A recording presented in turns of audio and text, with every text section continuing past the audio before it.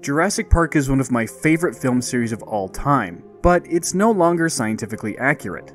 This video demonstrates how the real Tyrannosaurus rex, rather than the dull, insensate brute depicted in the series, was an agile, intelligent, and keen predator. We'll cover the size difference between the fictional and real T-Rex, its senses, behavior, fighting ability, and preferred prey. We even analyzed how a real T-Rex would fare in a matchup against real-life versions of the Jurassic Park theropods that regularly kick its teeth in thanks to the film's inaccuracies. So, to quote one of the greatest sci-fi films of all time, Hold on to your butts.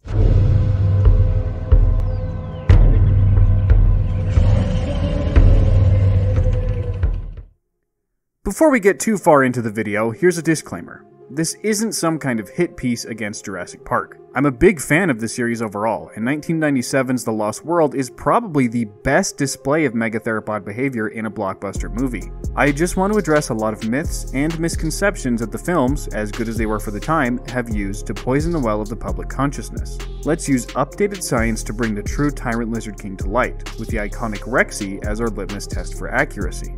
I like Buck and Doe more, but Rexy has a lot more screen time, so we get more information out of her. The first category is size. The first thing we need to get straight is that Rexy's size throughout the four Jurassic movies she appears in is quite inconsistent, and it changes between films and even scenes. That's because a mixture of animatronics and CGI was used for the original trilogy, with almost entirely CGI for the Jurassic World series. Models changed sizes according to what looked best in the shot, without the concern for consistency that online nerds like you and I strive for. The best approach then is to go with official stated sizes from the creators. In this case, Rexy's original 1993 animatronic was 12.2 meters or 40 feet long, while her design in the later Jurassic World movies had her at 13.5 meters long and 5.2 meters tall at the head. In behind the scenes featurettes, in film references, and even toy material, her Jurassic World incarnation is stated to weigh 8.4 metric tons. Average Tyrannosaurus adults would be in the 8 to 9 ton range, so that doesn't seem off at all. Until you realize that those T Rex specimens are typically 11 to 12 meters long. If you scaled up a real T Rex like Scotty to Rexy's length, you'd end up with a 13.7 ton behemoth. That's over 5 tons heavier than the ultra lightweight film version. A reason for the discrepancy is that when Jurassic Park was made, high quality laser based volumetric reconstructions hadn't yet become the preferred mode of mass reconstruction for dinosaurs. Wrapping 8.4 tons of muscle onto a 13.5 meter Rex would result in an emaciated, near mummified creature entirely unrealistic in how skinny it is. Oh, wait. When I feel like I'm about to faint, I eat a cube of cheese. So, yes, Rexy is much longer than a real T Rex, while also being far more lightweight in proportion to her body length. The biggest fragmentary Rex specimens we know of in 2025, Cope and Goliath, each comfortably exceeded 11 metric tons, with Goliath potentially getting close to 13.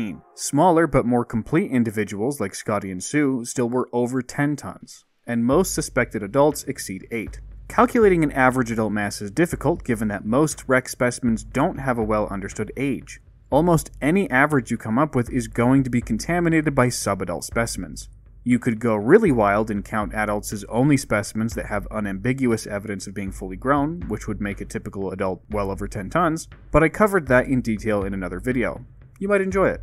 On to anatomy. The animatronic that Stan Winston created for Jurassic Park was a technological marvel, but even it had its flaws. Apart from being half starved with a thin rib cage, it had a skull that had been warped and altered from the original fossil material shape. The orbital horns above its eyes were greatly exaggerated, and its nasals, the top of its snout, curved up and made the skull seem unnaturally short and round. Rexy's angular, the rear portion of its bottom jaw, is sunken inward when it should be convex and her maxilla is overly curved. None of the franchise's T-Rexes have lips, which is considered the most likely state as of the time of this video's writing. For those of you interested in learning more about basic theropod anatomy, I'd strongly recommend checking out Scott Hartman's skeletaldrawing.com. He's a paleontologist and anatomist who's helped me out with a few of my videos, including size calculations for Cope, and he has an excellent anatomy reference on his website. Rexy's wrists make me want to sign her up for physical therapy. Theropod wrists are typically held in a supinated position, with the fingers facing in towards the chest, thanks to the arrangement of their metacarpals with their ulnar radius. Rexy's arms look like they've been broken at the wrist and healed wrong, pronated so they're facing down towards the ground. Yikes. He needs some milk! Now for senses. We all know how the Jurassic Park Rexes suffer from poor vision.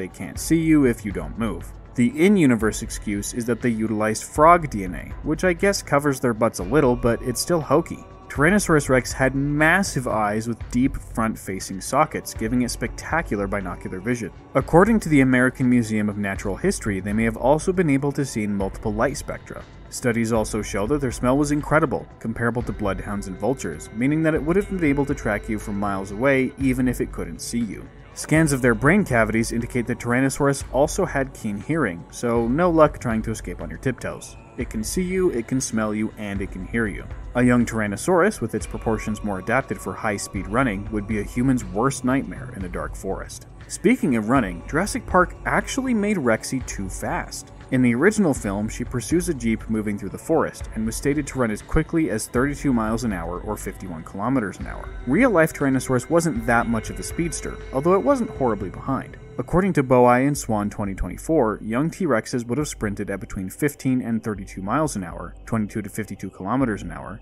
with the bulkier adults ranging between 17 and 20 miles an hour, 23 to 28 kilometers an hour. That's still fast enough for the adults to catch all but the fastest Olympic athletes and they easily outpace modern animals in their size class like elephants. If it came to a race, though, Rexy would win this category handily. Tyrannosaurus rex needed to be fast linearly to take down the big hadrosaurs like Edmontosaurus, as well as the snack-sized ornithopods like Pachycephalosaurus.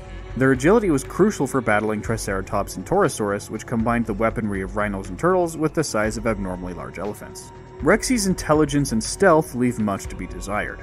She roars incessantly during ambushes, goes out of her way to randomly attack smaller predators while there's an active volcano in the background, and generally pursues chaos for the sake of chaos, abandoning optimal foraging theory in favor of optimal carnage. Tyrannosaurus in real life was a stealthy predator, likely capable of laying ambushes, cooperative hunting, parental care, and perhaps simple tool use like we see in crocodiles today.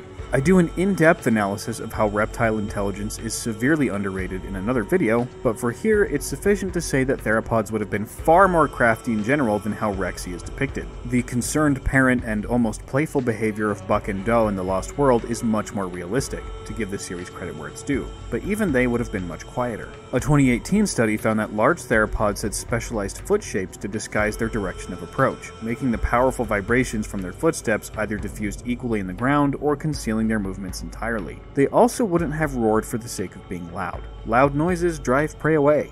They were highly tuned into low frequency sounds and may have used those to communicate with one another. Rather than the mammalian shriek of Rexy, think a cassowary's grunt crossed with a crocodile bellow. From my perspective, at least, that's far more terrifying. Now, what about combat? Besides Rexy scattering the raptors in the first film and randomly killing a Carnotaurus in Fallen Kingdom, she's done quite poorly in the fights shown on screen, not to mention the Bull Rex from Jurassic Park 3 getting its neck broken by the kaiju Spino. They typically bull rush, again with a roar, and get pinned down by taller opponents while their own bites have little to no effect. The only official source on bite force I could find was from the Dinosaur Protection Group website, where they state T Rex has a bite force of 34,000 newtons. That's definitely on the lower end of modern estimates, which put medium sized specimens like Stan at 48,000 newtons. The biggest exemplars, like Cope or Goliath, would be closer to 70 or 80,000 newtons, more than double Rexy. Based on healed injuries from across dozens of Tyrannosaur specimens, we know that a typical strategy involves using their jaws to attack the face and neck of their opponents. Tyrannosaurs were highly territorial and antagonistic predators, based on the sheer prevalence of injuries found, and could shrug off serious punishment. T Rexes were known to survive broken ribs, bites on the jaw, parts of their tails getting ripped off, direct bites to the back of the brain case, and even broken necks. While T Rex couldn't shrug off being thrown like a doll into buildings or judo throw other megatheropods, the gap in durability between these prehistoric apex predators and their movie monster versions isn't as big as commonly touted. So, how would the thrilling megatheropod duels have changed if accurate versions of the combatants were brought in? There's no gentle way to put this accurate T Rex versus accurate Spinosaurus is a slaughter. The only remains that we can be pretty confident about referring to Spinosaurus at the moment is the Neotype, which was 11.4 meters long and weighed around 3.5 tons. The animal is low to the ground with a tall sail and heron like neck. Its long jaws, while certainly well suited for capturing fish, aren't going to be dealing out lethal damage to a predator two to three times its size. And its arms aren't positioned for effective swiping against animals its own height or taller. But what about the giant fragmentary specimens, eh? The rostrum and dentary? We don't know if they do belong to Spinosaurus or not. Let's be generous and say they did. They'd scale, being very liberal, to 7.5 to 8.5 ton animals. That's still smaller than a typical T Rex adult, and they were nowhere near as optimized for combat against other megatheropods. It's like putting an office worker armed with a large stapler against a bodybuilder with a mace. Spino was brutally outmatched in every single category, leading to an easy victory for the Bull Rex. It would end up being the film's main antagonist. Unfortunately, that would mean we never got to see the super cool river scene from Jurassic Park 3, so we should probably leave things as they are. Jurassic World Rebirth seems to be moving somewhat in the right direction with their short legged paddle tail Spino designs, except for those hideous skulls. We'll see how things go there. How about the Indominus Rex? Well, there's no accurate version of a fictional hybrid, which makes that a little bit harder to gauge. A real T Rex would probably be able to output more damage, but not be as tanky. A realistic Indominus would have the base genome of a T Rex but with more gracile jaws, weakening its bite, and its long arms and claws were better positioned for combat than those of Spinosaurus. That one's a toss up. When I mentioned that Rexy had done poorly in all her megatheropod fights, that wasn't strictly true. She did defeat a massively oversized Tarbosaurus in the spin off show Camp Cretaceous, although it was embarrassingly close. To be fair, a scaled up Tarbo is basically a slightly less robust Rex, so there shouldn't be that much shame in struggling with it. In a realistic matchup, however, Rex outsizes Tarbo by 3 to 5 plus tons, making this a bit of a weight class mismatch. Finally, we have the epic, heroic, tragic battle that never was. When Colin Trevorrow, the director of Jurassic World and Jurassic World Dominion, said he was dedicated to accurate dinosaurs, I didn't think he meant take two apex predators that didn't live at the same time or on the same continent and make them fight in a flashback. But uh, I guess that is what he meant. He also seemed to think that bullying T Rex with a Spino and Indominus wasn't enough because he had this mutated isosceles alligator not only dwarf Rexy but overpower her twice in the same movie. There's a lot to unpack with the so called Joker Giga and how horrible its design was. With 2001 Spinosaurus, they at least had the excuse of the material being total crap. But the Giganotosaurus holotype is 70% complete. I mean, come on, son! Man, it was a throwaway, so we could make an entrance. But you got it wrong. I can't do this with you right now. Anyway, if this T Rex episode gets to 100,000 views, I'll make a Giga episode and cover the whole sordid affair in detail there. So please like the video and subscribe if you haven't already so I know if you liked it. Back on track. For practical purposes, a typical Tyrannosaurus adult and Giganotosaurus adult were approximately the same size. There's some uncertainty as to the life stage of the Giga holotype, with fusion of some bones being a possible indicator of adulthood, but that goes for Rex as well. Scotty, one of the biggest specimens, has as much of a case for being fully grown as the Giganotosaurus holotype does. The Gigachin, or giant dentary specimen, isn't really worth using since dentaries vary wildly in size even within the same individual. So if we take the dentary specimen being 10.6 tons at face value, which we shouldn't, we'd also need to accept Rex uber fragments like the UCMP weirdos, which Frankly, I don't want to. We'll say then that Giga is 8 to 9 plus tons, right in average Rex territory while being possibly bigger. If they're at parity, then it's all about the build. Giganotosaurus had a stiff neck and long jaws, which it could open and close quickly, great for taking bites out of the living mountains of sauropod flesh it lived with. Its arms were barely any longer than T Rex's, and neither pair would be of any use in this fight. Its femur had a large fourth trochanter, indicating that it was possibly adapted for speed and scaling from Carcharodontosaurus, its bite force would have been around 30,000 newtons, just below the fictional Rexy's. It's a formidable beast by any reasonable standard. Unfortunately, it would lose to Tyrannosaurus most of the time in a head to head. While certainly capable of pulling out a victory perhaps 30 to 40% of the time, Giganotosaurus was just not as adapted for megatheropod battles as its rival. T Rex fought its own kind on the regular, and a 2019 study indicated that it was nearly twice as agile as Giganotosaurus. Its bite is stronger, it has a better ability to avoid and deliver attacks, and better binocular vision to allow close combat maneuvers and judging distance. It has pretty much every advantage. That being said, their comparable size and Giga's cutting jaws would make it far from a stomp. Would Jurassic Park 3 or Dominion change as movies if we got accurate megatheropod fights? I mean, not that much, they would probably still stink from a writing and character perspective, but at least we'd get to see T Rex treated properly on the big screen, which is all I can really hope for from Jurassic World Rebirth. Let me know what your hopes are for that movie in the comments, and if you're watching this video after the release, then tell us if it met your expectations. I've got my fingers crossed. I really want it to be good, but we got burned bad last time. We'll see. We'll see. But I don't want to end the video on a sour note. There's quite a bit that Jurassic Park, both the novel and the movies, got right about the T Rex. I already mentioned the parental care in The Lost World and how Buck and Doe went to great lengths to protect their offspring.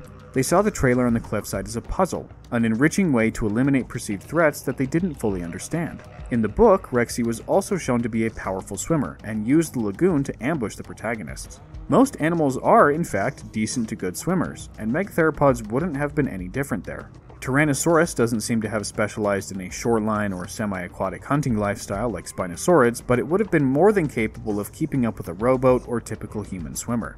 Another tidbit worth mentioning is that Rexy was raised on a diet of goats and was thus used to eating small prey. She specifically was less accustomed to a big game hunter lifestyle than an accurate Tyrannosaurus would have been, so that excuses some of her apparently irrational behavior. An animal that was raised its entire life in captivity, especially in a context where its economic value is tied into trained hunting behavior, isn't going to act like its wild counterpart even if they had the exact same genome. Oh, and if you're into dinosaur fights, you'll want to keep an eye out for my Paleo Fantasy series Extinction. The first book, Obsidian Dawn, should be getting a cover reveal here in the next couple of weeks, and will be available for pre order this summer before November 2025 release.